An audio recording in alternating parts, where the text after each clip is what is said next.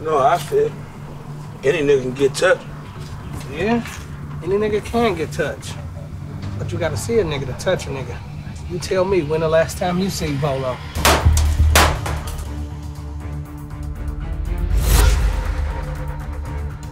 The feds on your ass.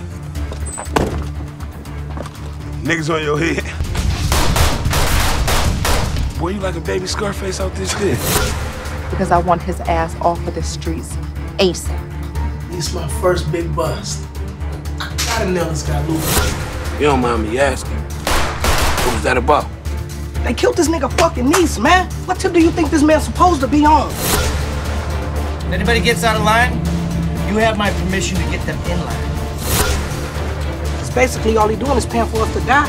Cause if that man want us dead, we dead, man how long it take for shit to cool down, nigga. Look, it's either go to jail or fucking die.